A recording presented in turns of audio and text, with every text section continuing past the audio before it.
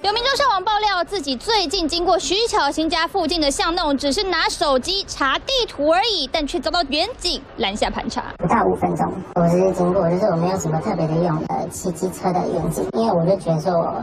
我没有做违法的行为，就是不可以被这样子对待。他好像有请求支援，后来又来大概三十个刑警，当时真的很怕。十号晚上七点多，无故遭到好几名远警包围，回想起来还心有余悸。不过徐巧芯也自曝，同样是十号下午三点多，也有人来自家楼下拍照，当时母亲还忍无可忍，开窗和对方互呛。C 先生强调自己不是徐妈妈骂的那个人，直呼只是单纯路过，就被警方盘查。嗯，整晚万岁，很像。以前回到就是警总的时候，就是在路上一言不合就可以带走或者是盘查这样子，所以真的让人家觉得很害怕。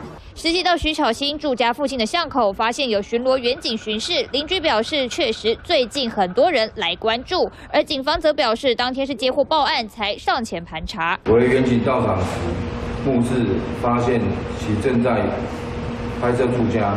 并有监视器画面为佐证，经厘清未发现有跟梢或妨碍秘密等犯罪之余。徐巧芯深陷争议，不少人把他家当成打卡点。如今徐巧芯搜集证据，下午直奔警局，要对骚扰者提告跟骚。徐巧芯从大姑设诈一路吵到都跟疑云，话题从没断过。三叔黄燕杰、马运侯采用台北。